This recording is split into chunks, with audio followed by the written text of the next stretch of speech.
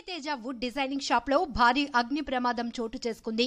సుమారుగా ఇరవై ఐదు లక్షల రూపాయల ఆస్తి నష్టం సంభవించినట్లు అంచనా. పాలకొండ ఆర్టీసీ కాంప్లెక్స్ దగ్గర వాటర్ సర్వీసింగ్ పక్కన ఉన్న సూర్యతేజ వుడ్ డిజైనింగ్ షాప్లో మంగళవారం ఉదయం తెల్లవారుజామున భారీ అగ్ని ప్రమాదం జరిగింది.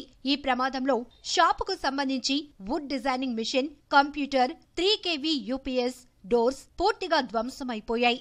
దీనికి సంబంధించి ఇన్సూరెన్స్ పత్రాలు కాలి బూడిదైపోయాయి అగ్ని ప్రమాదంపై పలు అనుమానాలు వ్యక్తమవుతున్నాయి.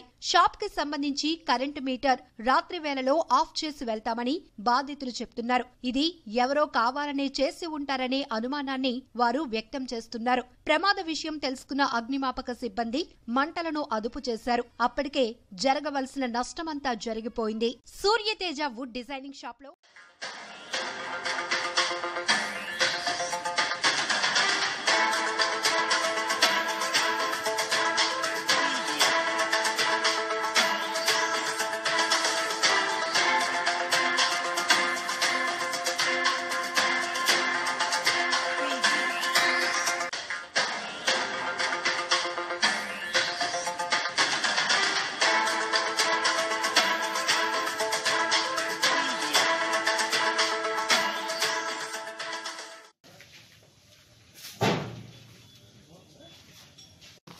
ఆయన ఫోటో నువ్వు ఉంటే ఇంకేమంటావు క్లోజ్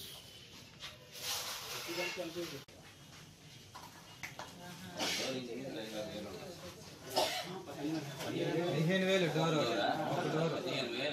నా పేరు ఉపేంద్ర కుమార్ అండి మేము ఇక్కడ కంప్యూటర్ డిజైనింగ్ మిషన్ యొక్క షాప్ పెట్టాం.